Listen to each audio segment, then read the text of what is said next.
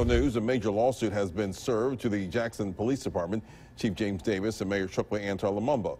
Amongst the two dozen uh, current and former police officers are taking the city and department to federal court over harassment, racial profiling, and poor working conditions allegations. 12 News' Alex Love spoke to their attorney and breaks down their case. It's become common knowledge the Jackson Police Department is short on manpower and funding in certain areas. For Attorney Robinson, this lawsuit may explain internal issues as to why.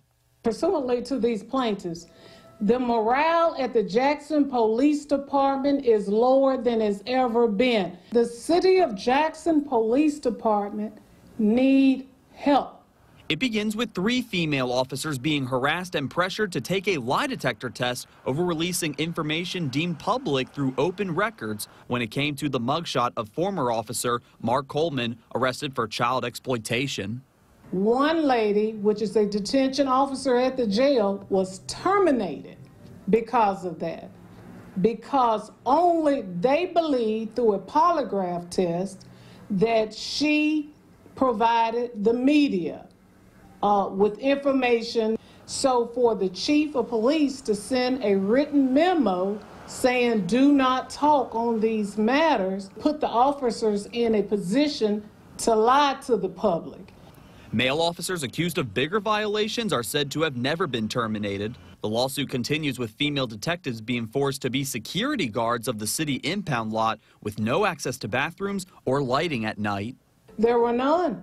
No one came to let them go to the restroom. So they had to resort to a third world country style and use the bathroom in the public. There was a building there, but it was remain locked. No one putting them on duty gave them a key. The allegations go as far as accusing previous and current commanders of harassing a female detective and white officers to tamper with evidence, like recovering a revolver on scene from another officer or an intoxicated pedestrian hit being at fault one of the white female plaintiffs, whom is likely right now maybe the only crime scene investigator there, whom was just criticized because she wouldn't say things regarding a certain case the way the chief of police wanted it. Then I have another white Caucasian male. He's naming incidents back in another administration whom asked him to change records of who committed the crime. Mayor Chokwe Antar Lumumba comes up being accused of taking over $200,000 from JPD's budget for his bodyguards and SUVs, including E. Bradley Lumumba, who could be influencing JPD matters. And that was Alex Love reporting. All 21 plaintiffs in the case were cleared by the Equal Employment Opportunity Center to hire lawyers and sue.